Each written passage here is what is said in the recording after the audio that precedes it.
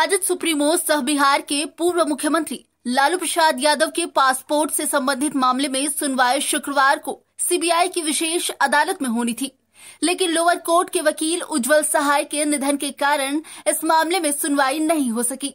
अब अगली सुनवाई 14 जून को होगी। लालू प्रसाद यादव की ओर से पासपोर्ट लौटाने और देश के बाहर जाने की इजाज़त मांगी गई थी। उन्होंने यह अपील चारा घोटाले की दुमका ट्रेजरी मामले में की है। लालू प्रसाद यादव चारा घोटाला मामले में जमानत पर हैं।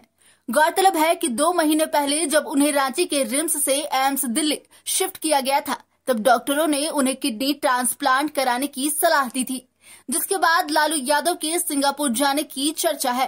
हालाँकि अगली सुनवाई में यह साफ़ हो पाएगा कि वह देश से बाहर जा सकते हैं या नहीं।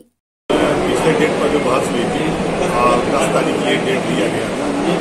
आज पेपर कर गया है। चौदह तारीख को इसकी सुनवाई होगी न्यूज़ विंग के लिए रांची से रफी शमी की रिपोर्ट।